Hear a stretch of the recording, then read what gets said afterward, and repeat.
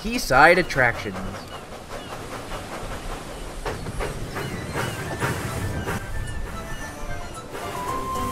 Down by the docks, that is the place to be. Down by the docks,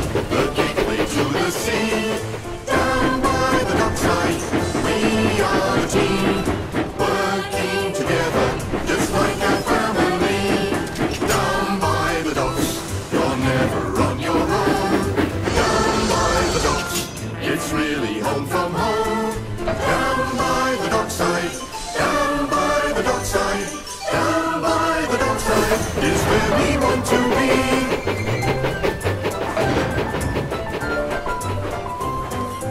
Down by the dockside is where we want to be. One morning, Bill and Ben the Tank Engine twins puffed into Brendam Docks with a train of China clay wagons. As they rolled along the quay, Ben noticed something. You see that, Bill? See what? That! A small group of harbor workers stood around a young looking man. See? I wonder what that's about. Did you see his camera? Maybe he's one of those railway enthusiasts. But he completely ignored us. The twins were very puzzled.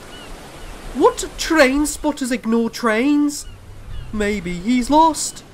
Who's lost, mateys? Asked Salty.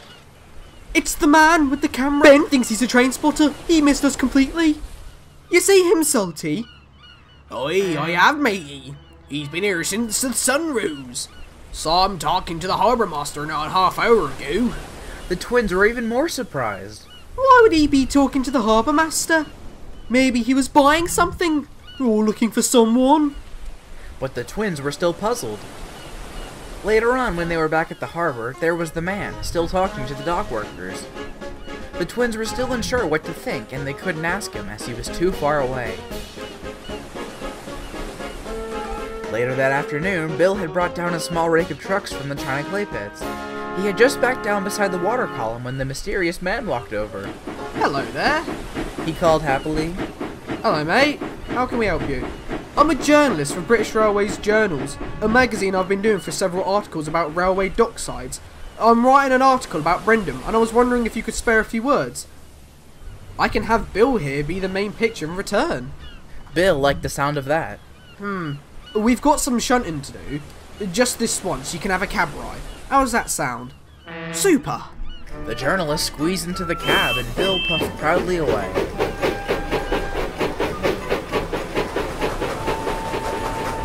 Bill ambled up and down the quay, happily showing his paces while the journalist spoke with his crew.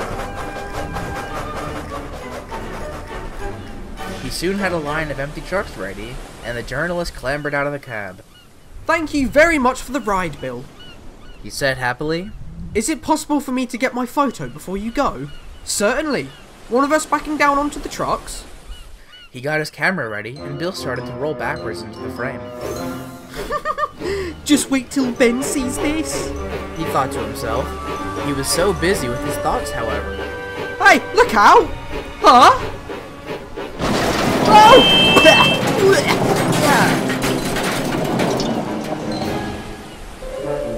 oh! A crate of fish had been upset all over Bill. No one had been injured, but Bill felt rather foolish. Oh, I'm so sorry about this. It's my fault. Uh, No worries. Our fault. More like that idiot crane operator. Anyways, we must really be away. The mess was quickly cleared up. The journalist helped where he could. Bill whistled his goodbyes and slipped away. He felt foolish, and was glad Ben had missed the event. A few weeks later, Bill's driver arrived clutching a magazine. Here, here. Look, Bill. There, on the front cover, was a picture of Bill, with fish decorating his top. It's all spills and thrills at Brendam. said his driver reading the text below. Ben bellowed with laughter. Bill pretended not to hear, but he couldn't stop his face going red. Oh.